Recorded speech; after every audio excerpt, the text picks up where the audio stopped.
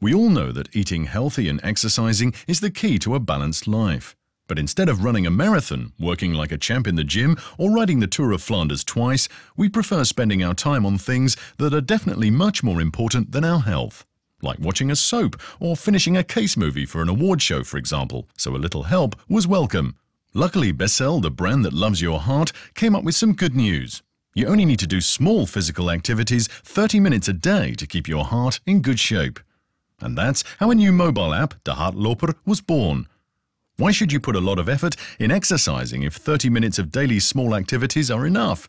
Small things like gardening, vacuum cleaning, also more fun things like walking the dog, shopping, playing with your kids, or even your favorite sport. Reaching your daily goal of 30 minutes workout never became so easy. Every now and then we're rewarded our Hartlopers just to give them that extra push, going from a coupon of their favorite brand all the way to folding bicycles. Every day, we send them motivational messages to remind them to do some daily activity.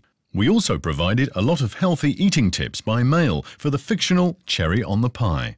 To communicate this campaign, we used some clever point of sale, banners that led traffic to the site, and we made some small billboards where we turned everyday activities into sports. En dan nu voor het hart waar je van houdt, de 150 vierkante meter grasmaaien. Ook actief bewegen? Ga naar hardloper.be of download de app op je smartphone. We even integrated the Heartloper in Let's Get Fit, a show about health on the biggest national TV station to boost the application. The results were stunning. More than 11,000 people, that's 463 Olympic pools full of people, became a Heartloper, making it the second most downloaded app. Altogether, they moved almost 4 million minutes to get their hearts in a better shape. Meaning every Hartloper missed about a whole two weeks of their favourite soap opera to do some small activities. Now that's a campaign that really created a movement. Becel, for the heart you love.